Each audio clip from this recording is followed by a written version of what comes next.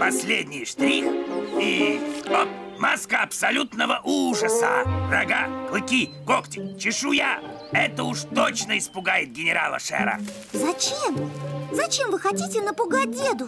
Да не напугать, а проверить, действительно ли у него нет никаких страхов. Хе.